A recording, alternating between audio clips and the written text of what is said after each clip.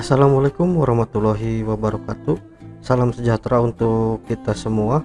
Salam Om Swastiastu Namo Buddhaya Salam kebajikan Rahayu. Kali ini kita akan membahas latihan soal penilaian akhir semester PPKN kelas 10 Di sini sudah ada 76 respon dan masih bertambah Wawasannya untuk sementara seperti ini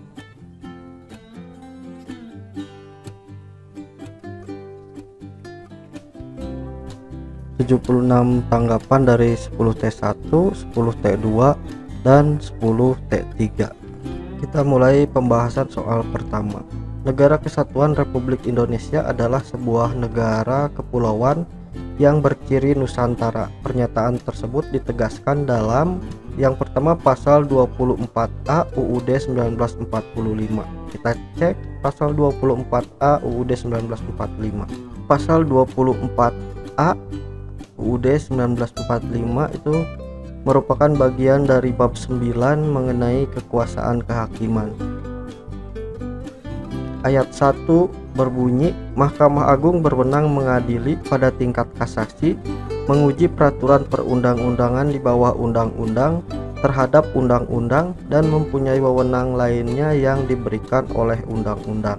Amandemen ketiga pasal 24A mengenai Mahkamah Agung dan Hakim Agung. Jadi jawabannya bukan pasal 24A UUD 1945. Sedangkan pasal 24B UUD 1945 mengenai Komisi Yudisial dan anggota Komisi Yudisial.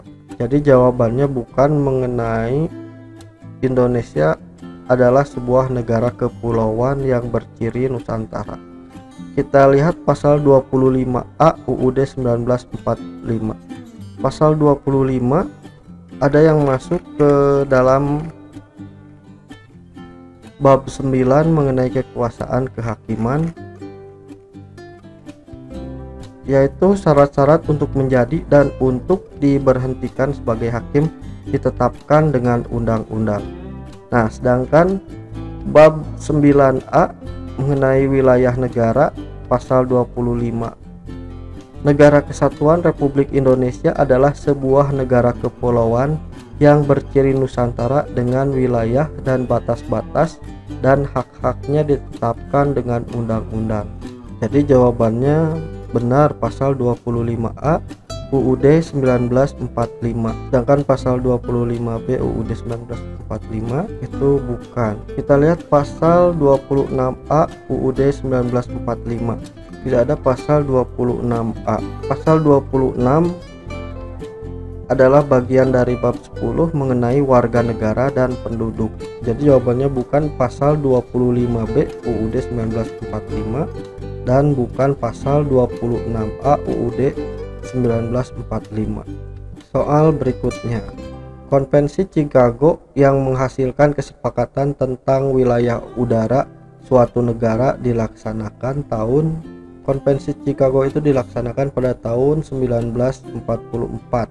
Ini jawabannya bukan tahun 1965, 1933 atau 1945 dan bukan juga tahun 1954 ini ada di dalam buku paket. Kemudian soal berikutnya wilayah Indonesia di sebelah barat berbatasan dengan kita lihat peta Indonesia.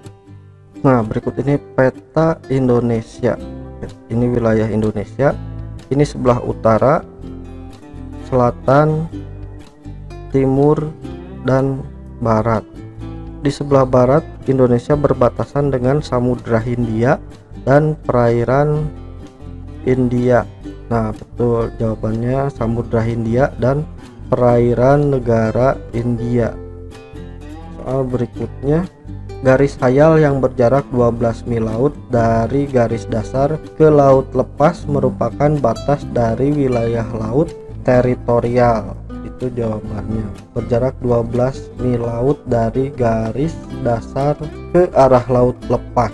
Soal berikutnya mereka yang berdiam atau menjadi penghuni negara disebut seharusnya ada kecualinya karena jawabannya bangsa, rakyat, warga negara dan penduduk merupakan orang yang menjadi penghuni atau berdiam di suatu negara sedangkan yang bukan adalah turis. Jadi jawaban yang benar adalah bangsa, rakyat, warga negara, dan penduduk.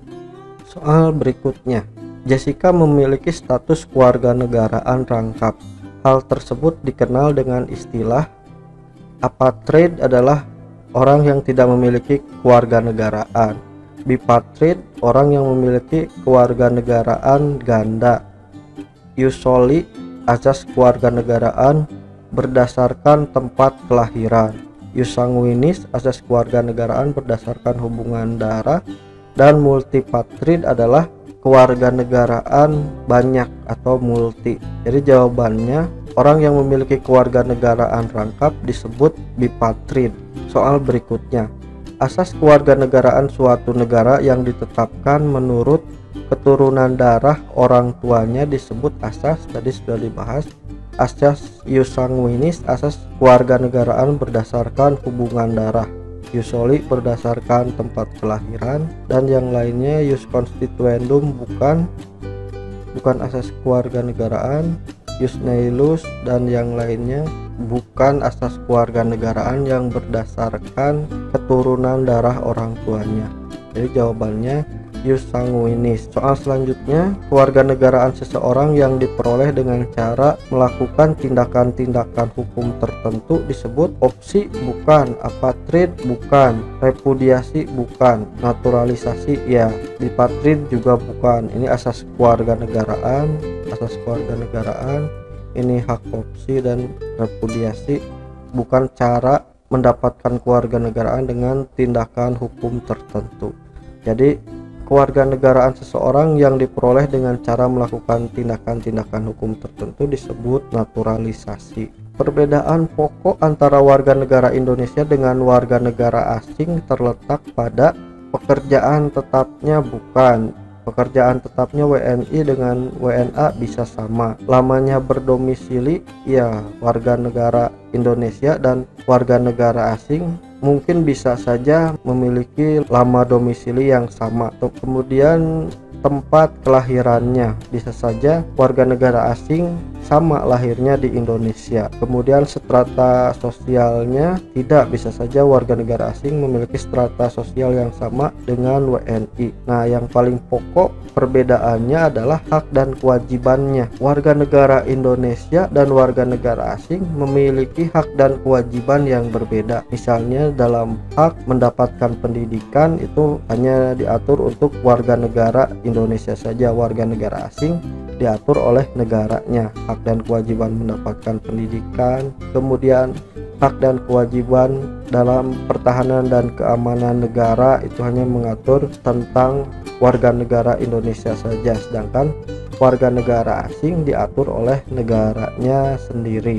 Kemudian soal berikutnya, kerukunan merupakan suatu kemauan untuk hidup Jawaban yang paling tepat adalah berdampingan secara damai. Soal berikutnya, di bawah ini merupakan kewajiban negara terhadap warga negaranya, kecuali jadi jawaban yang kecuali adalah yang pilihan yang paling atas ini menjamin pemerintahan yang diktator itu salah. Kemudian peran penerapan hak warga negara di bidang politik dapat diimplementasikan dalam bentuk karena di sini kata kuncinya adalah di bidang politik, maka jawaban yang paling tepat adalah masuk menjadi anggota partai politik. Ini jawabannya. Soal berikutnya, dalam sistem pertahanan keamanan rakyat semesta, rakyat berfungsi sebagai kekuatan. Jawabannya adalah pendukung pertahanan keamanan. Jadi bukan utama sistem pertahanan dan keamanan negara. Soal selanjutnya Berdasarkan pasal 30 ayat 1 UUD 1945, tanggung jawab untuk ikut serta dalam usaha pertahanan dan keamanan negara merupakan Nah, kita lihat pasal 30 ayat 1 UUD 1945. Pasal 30 ayat 1 merupakan bagian dari bab ke-12 pertahanan negara dan keamanan negara. Pasal 30 ayat 1, tiap-tiap warga negara berhak dan wajib ikut serta dalam usaha pertahanan dan keamanan negara. Jawabannya D. Soal selanjutnya, struktur politik pemerintah yang berkaitan dengan lembaga-lembaga negara yang ada serta hubungan kekuasaan antara lembaga satu dengan lainnya disebut pilihan yang A kelompok penekan bukan kelompok penekan atau pressure group bukan partai politik juga bukan suprastruktur politik itu jawabannya merupakan struktur politik pemerintah yang berkaitan dengan lembaga negara yang ada serta hubungan kekuasaan antara lembaga satu dengan lembaga lainnya disebut suprastruktur politik. Keberadaan lembaga-lembaga negara di Indonesia begitu dinamis. Hal tersebut merupakan dampak langsung dari mekanisme pengelolaan kekuasaan negara yang bersifat dinamis pula. Setelah reformasi, lembaga yang tidak ada dalam struktur kelembagaan negara adalah Mahkamah Agung masih ada, Dewan Perwakilan Rakyat masih ada, Dewan Perwakilan Daerah masih ada, BPK atau Badan Pengawas Keuangan masih ada. Nah, yang tidak ada itu setelah reformasi adalah Dewan Pertimbangan Agung. Soal berikutnya, berikut adalah tugas dan wewenang MPR kecuali mengubah dan menetapkan undang-undang dasar ya. Tugas dan wewenang MPR melantik presiden dan wakil presiden ya. Memilih anggota kabinet bukan. Memilih anggota kabinet merupakan hak prerogatif presiden. Melantik wakil presiden menjadi presiden apabila presiden mangkat ya itu tugas dan wewenang MPR memilih wakil presiden dan dua calon yang diajukan presiden ya memilih wakil presiden dari dua calon yang diajukan oleh presiden. Ya, itu juga merupakan tugas dan wewenang MPR. Jadi yang bukan adalah memilih anggota kabinet. Soal berikutnya, Komisi Yudisial atau KY memiliki wewenang untuk yang pertama pilihannya memutus pembubaran partai politik dan menyelesaikan perselisihan hasil pemilu. Bukan itu bukan tugas komisi yudisial itu tugasnya mahkamah konstitusi. Pilihan yang kedua mengusulkan pengangkatan hakim agung ya itu tugas komisi yudisial. Mengawasi jalannya pengadilan-pengadilan di semua lingkungan peradilan. Itu bukan tugas komisi yudisial. Pilihan yang D melakukan pemeriksaan pengawasan serta penelitian atas penguasaan pengurusan keuangan negara itu bukan tugas komisi yudisial. Yang terakhir memberikan nasihat hukum kepada presiden untuk memberikan atau menolak gerasi. Bukan juga tugas dari komisi yudisial. Jadi jawaban yang benar adalah mengusulkan pengangkat mengusulkan pengangkatan hakim agung.